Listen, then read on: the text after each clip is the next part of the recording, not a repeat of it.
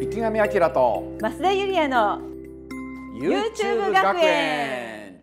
今年アメリカ大統領選挙が秋にあるわけですけれども、本来ならばちゃんと共和党とか民主党とか、はい。それぞれの代表候補者がちゃんと決まってからはい。討論会が行われるのに今年は異例ですね池上さん。もう本当ですよねどちらも党大会があの行われる前正式に候補が決まる前からとにかく、まあ、この2人で決まりだろうというんでなんとテレビ討論会が開かれてしまったってわけですね。そうですねなんだか見ていて心もとない部分もいろいろあったということはさておき、はいその大統領選挙の時に大事になるのが副大統領候補なんですよね。そうですよねつまり大統領と副大統領がセットであの選挙をして当選するそうすると大統領に何かあった時に副大統領もちゃんと国民から選ばれてるからね大統領になれるよねということができるようにセットで選挙してるんですよね。はい、でバイデン大統領はいろいろありましたけれども、はい結局インド系のハリス副大統領を選んだというような経緯がありました。そうですね。大統領選挙の時は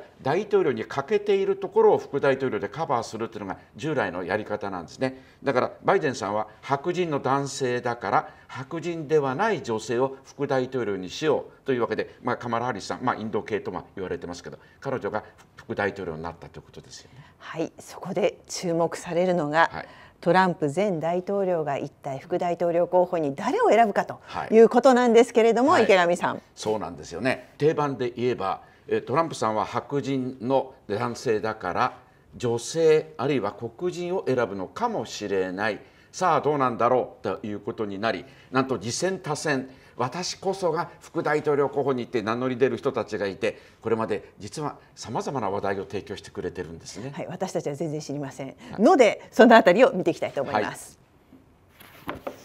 まずはい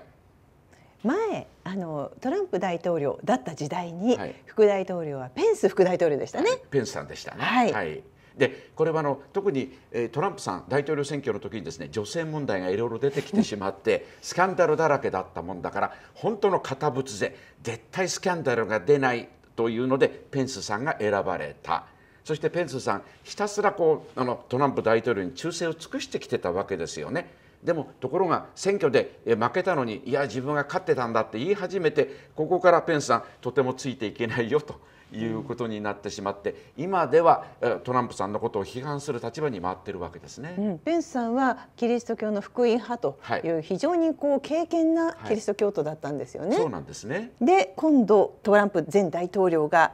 選ぶかもしれない。それともこの方が自分で名乗り上げたサウスダコタ州のクリスティ・ノーム知事52歳、はい。この方はどういう方なんですか？あのつまりトランプさんがきっと黒人か女性を選ぶんじゃないかとはい。いう言われたので、じゃあ私がこう女性の副大統領候補に言って本人が野心満々になってですね、これを売り込もうとしてまずは自伝を出すんですよね。はいよくあの政治家が自伝を出すとするとああ野心があるんだなっていうことになるわけですよね。でその自伝の中にですねこんなこと書いてたんですよ。ちょっと私これ許せないと思ったんですけれどもその自伝の中にはい訓練がうまくいかない猟犬飼い犬を射殺した、はいこれ自分の犬をうん。射殺したということを書くってはい。逮捕されるんじゃないかと思ってしまうんですけれども。いやまあ日本だったらそうですけどね、つまり彼女としては私はこんなにマッチョなんだと。こうアメリカのもうを率いていく大統領としてのマッチョなえー力を持ってるんだぞってことをアピールしようとしてこういうことを書いたらですね猛烈な反発を受けるわけですよ。愛犬家ばかりじゃないですよね、こんな人とんでもないよね。って言って自分が野心満々でこんなこと書いたもんだからむしろ副大統領のレースから消えてしまったってことなんですね。あじゃあ自分で立候補見てめいたことをしておいて、はい。でもやっぱり消えてしまったというのがこの女性だということですね。はい、まあだから自爆してしまったということですね。はい。はい、そしてまたはい。女性です、はい。熱烈なトランプ支持者、はい。この方もじゃあ次戦 これはですねええ。あのマジョリテイラー・グリーン下院議員なんですけど、はい。トランプさんが絶賛してたんですよ。このジョージア州の下院議員の方を。この人は素晴らしい人だって絶賛してたもんだから、本人がやっぱりかなりその気になって、うん。自分こそ副大統領候補にふさわしいとこう思い出してしまったということなんですね。うん、あの絶賛した理由って何なんですか？要するに熱トランプさんのことをとにかく熱烈に支持するとですねトランプさんはあいいやつじゃ素晴らしい私のことを絶賛してくれていると言ってその人を絶賛するとこういうことですね。うんそれでこの方の発言というのは、最近問題になったのがこの発言ですね。地震日食は神が悔い改めようと伝えている。はい。911テロは起きてなかった。はい。銃乱射事件で生き残った生徒に卑怯者と言ったんですか？はい。追い回したんですね。はあ。あの最近あのアメリカの東部ニューヨークのあたりでちょっと地震が起きてありました。はい。それから日食があったでしょありました。はい。ね、それをですねこれは神が人間に対して悔い改めよと伝えているんだ。私たちは悔い改めなければいけないって言い出したんですね。いや地震って自然現象だし、日食はもう最初から分かってるわけでしょ、それはあれはあの神がこう伝えてるんだってこういう言い方をするんですよね。はい。となるとついていけないわと思う人たちが出てくるわけですよね。はい。まあそれはまだしもですけど2番目です。はい。はい、911のアメリカ同時多発テロは起きていなかったってでこの方50歳だから、はいその911のテロが起きた時には十二分に大人だったはずなんでそすけど。うですよね、うんだからよく陰謀論が当時あるわけですよね。こう911のテロが起きていた時に例えばユダヤ人が何百人もあの日に限ってあの会社を休んでいたとか。これはもちろん嘘なんですけど、そういうのがうっと広がってくるわけですよ。あるいはあるいはイスラムではないんだとか自作自演だとかいろんな実はデマがわーっと広がっていく中に、そもそも911なんかなかったんだっていう陰謀論があるんですよ。それを言ってた。でもねさすがに最近はこう大統領選挙を意識したんでしょうね。911が起きていることを認めるようになりました。よくわかりません。はい、そして3つ目です。これはちょっと信じられないんですけれども、生き残った生徒、この銃乱射事件とこれどういうあ関係高なんですか？高校の中で銃乱射事件になって、大勢の高校生が亡くなるって、まあ、アメリカで頻繁にありますよね。はいで生き残った生徒が当然こう銃をあの規制すべきだっていう運動を始めると、お前は生き残ったくせにという形で生徒を追いかけ回したとで卑怯者と言ったという。それはどういう意味があるんですか？うんつまり銃を規制することに彼女は反対しているわけですよね。はい。あるいはなんで生き残ったんだとつまり他のな友達が殺されてるのにお前は立ち向かわなかったのか？という意味ですよね。理解不能です。はい本当に理解不能です。はいはいあまりにこう理解不能なことばっかり言って、さらにここには書いてありませんけど最近あのトランプ政権の時にファウチという国立アレルギー感染症研究所のあの所長さんが非常にコロナ対策でいろんなことを言ってましたよね。日本のニュースでもはいよく目にした方です。あはい。その人がだから議会に呼び出されて、共和党の議員から次々に袋叩きに遭うんですよ、例えばマスクをしろなんて言った。あの効果のないものマスクを義務付けようとするとはとんでもないとかですね、いろんなこう袋叩きにする中で彼女はですねファウチを死刑にすべきだ。殺人罪で死刑にすべきだって言い出したんですよ。何が殺人罪もうだから理解不能なんですよ、コロナ対策を失敗したじゃないかと、うんという言い方をするわけですね。であまりに過激であまりにこのす突拍子もないことを言うもんですからさすがにトランプさん最初はこう絶賛してたんですけど最近あんまり言わなくなったと。うんなので彼女もどうも副大統領レースから脱落しただろうと言われてるわけです。はい。じゃあ本命と言われる人たちにはどんな人たちがいるか見ていきたいと思います。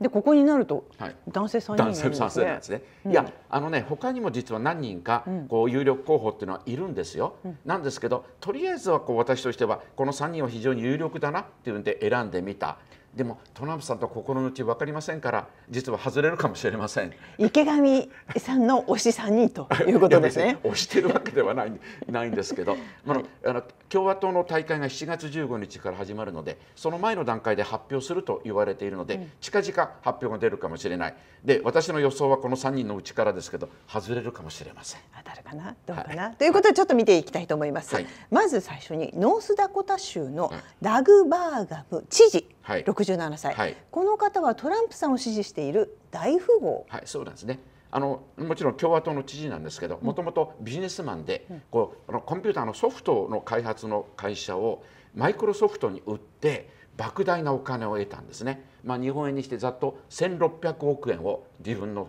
懐にしたというわけで、大富豪で。えそうなるとトランプさんとしてはそういう大富豪が副大統領候補になると選挙資金がこう足りなくならなくていいなって思いもあるだろうしとにかくね熱烈な、えトランプさんのファンでひたすらトランプさんに忠誠心を誓ってですね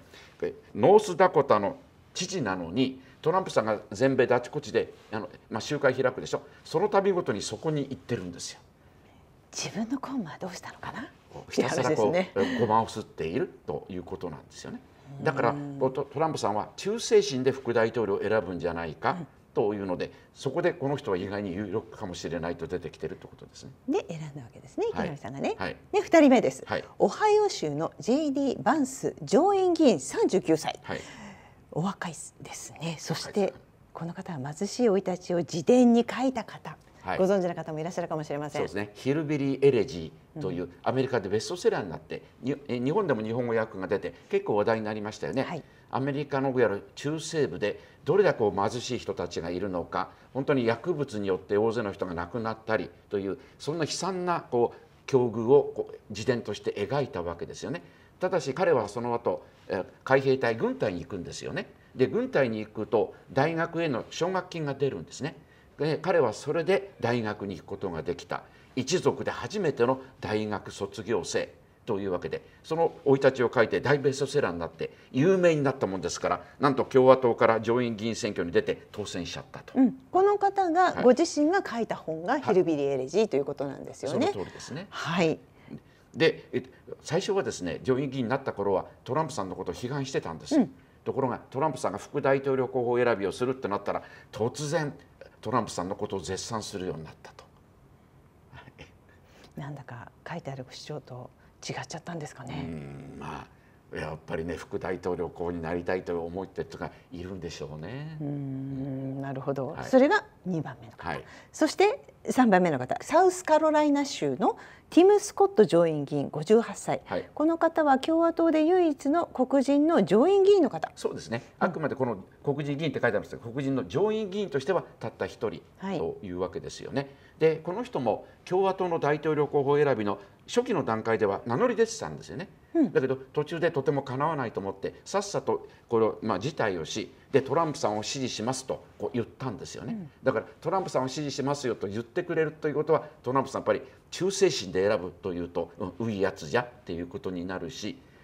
特に黒人を副大統領にすれば民主党の票をかなり取れるんじゃないか、だから彼を選ぶのかもしれないと言ってこれが注目されているということですね。なるほど池上さんがこの3人を挙げましたがまたここにいない方が万が一にもなるかもしれないということもあるわけです、ね、もちろんそれもあります、うん、あとですねこの真ん中と右の人は非常に有名なんですよね。はい、あのオハイオ州のこのバンスさんと、はい、サウスカロライナ州のスコットさんは有名な方。ところがこのノースダクタのダグ・バーガムさんって人は全然アメリカでも有名じゃないんですね、うんうん、とトランプさんは自分より有名な自分より人気が出るような副大統領は絶対許せない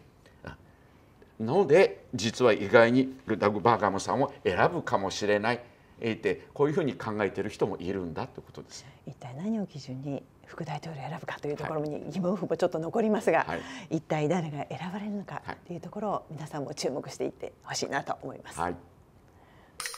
YouTube 学園から新しい本が生まれました。歴史で読み解く世界情勢の基本。これを読めば混迷する世界情勢が見えてきます。チョコレートで読み解く世界史。チョコレートの歴史を知ると今の世界情勢もわかります。